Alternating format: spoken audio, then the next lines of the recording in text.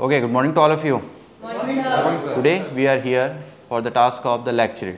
This is the conformity task of your GTO. In this task, the GTO will test his doubt and clear his doubt about you regarding your communication, regarding your content, regarding your personality. How do you speak? What is your power of expression? Okay. In this task, he will be provided a card. In this card, there are four topic mentioned. Priority wise, they are below average, average, near about average, and above average topic. You have to choose a topic of your choice. Go out of the room for the three minutes. Prepare your topic. While preparing, it's my advice that just only prepare the points in the chronological way. Okay what is it, why it is in news, what are the constitutional provisions regarding this topic, what are the advantages, what are the challenges and what should be the way forward and this is a chronological way. Okay. Then after you have to come when I bell the ring once. Okay. Pass me the card, please tell me the topic and then after you have to start your lecture for the next 3 minutes. On 2 minute 30 second I will ring the bell once means only 30 seconds are remaining and this is the warning bell for the next candidate that he or she have to go out of the room for preparing his topic. Got the point? At completion of 3 minutes I will bell the ring twice means time over. The next candidate should start his lecture. Got the point? Yes, sir. Okay. First candidate please come. Okay start. Good morning gentlemen. My topic is India as a world leader. In this modern era, our world is divided between two parts. One is northern part and other one is southern part, in which northern part is the most developed one and the southern part is this time developing nation, in which India is the one which is amongst the most developing nature, uh, developing nation amongst all. Um, India is uh, trying to get veto power in UNESCO because India is uh, growing uh, very well and India's economy is also growing and India is growing in space sector also. In this, in the recent time, India launched a Chandrayaan 3 mission which was successfully launched by India on the southern, uh, southern part of the moon which is a big success for us because still no one has successfully landed on the southern part of the moon. Is, is like this India is growing space sector and if we talk about the land uh, land wise india is also developing uh, its uh, economy india is acting as as a mediator amongst all because in the recent g20 presidency india showed other countries that how india is acting as a mediator amongst all nations india showed that how it is neut uh, neutral amongst all india is uh, avoiding all wars uh, by other nations india is trying to make a good relationship with among all leaders among all nations. India is trying to um, uh, make a good tradition with other nations. Like this, India is going on the uh, becoming as a world nation, um, world leader. And then uh, talking about the problems, there is a one problem arising this time that uh, Canadian President Mr. Justin Trudeau is uh, saying that the here that India has killed their one uh, their two citizens one amongst is uh, Najib because India's uh, India is one of the most uh, uh, uh, terrorist one is uh, Nazir which uh, took citizen, citizenship of Canada, Canada, Canada. This is the biggest problem for India. India should maintain a good relationship with Canadian uh, president. India should do a diplomatic talk with Canada. But USA is trying to make a uh, they are trying to make a pressure on India, but India should have to manage this. To become a world leader, India is a well growing in space sector, India is well growing in economic sector, India is well growing in trade sector.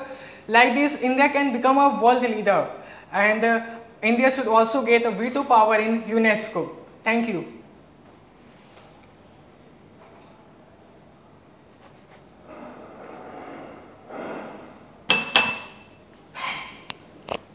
Okay, the body language was stable, eye contact was okay, fluency was also there in the first half of the lecture, but in the later phase that fluency was lost.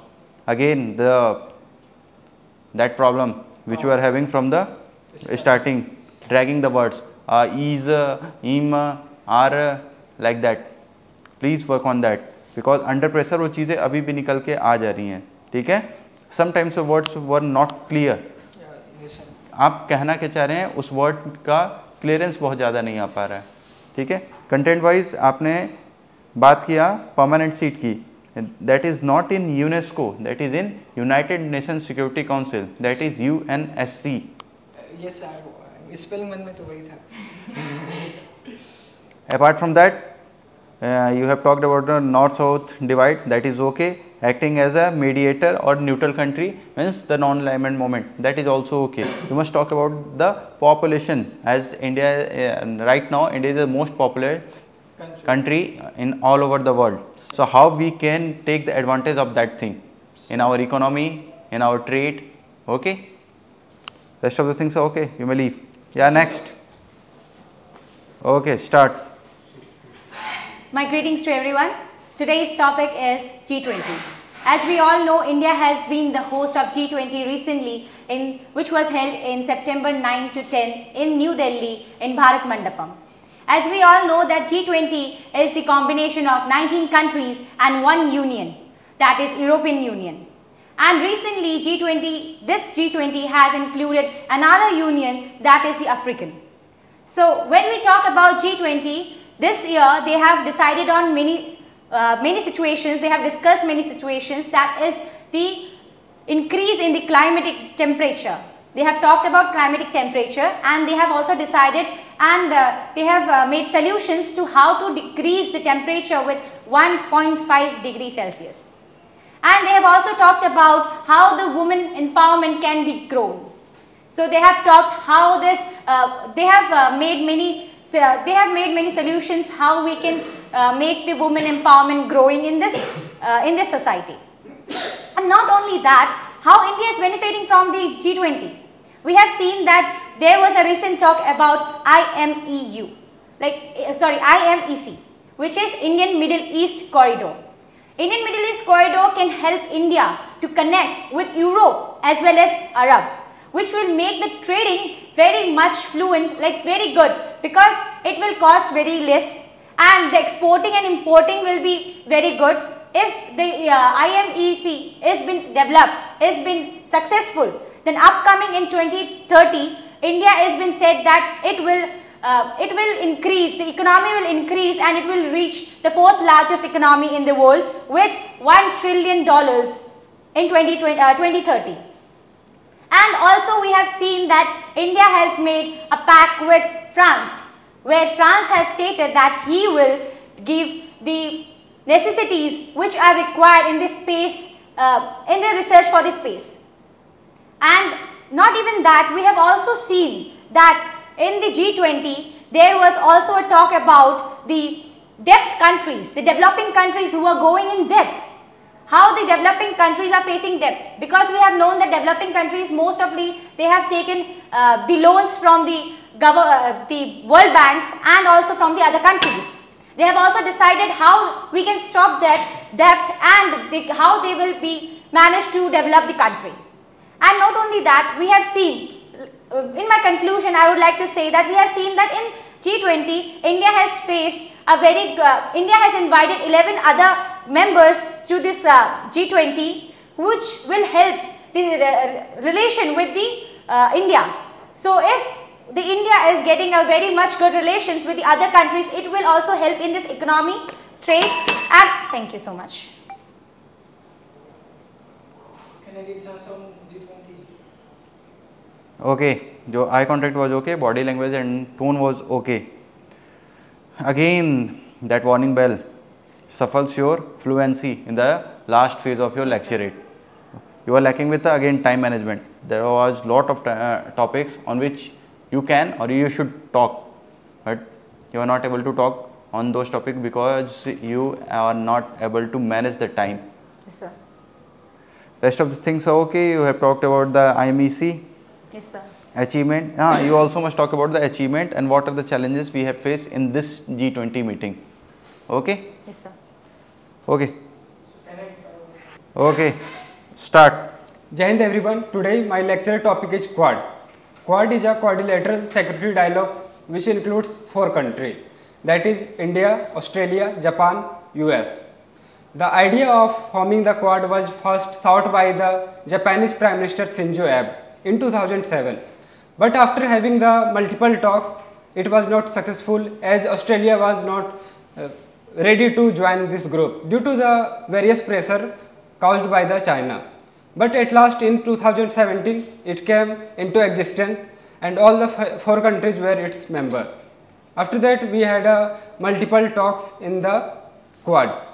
Talking about the significance of Quad is as it includes the country which is sharing the uh, oceans like Indian Ocean, the India and Australia and the Pacific Ocean to Japan and the US. So, it includes the uh, big ocean region.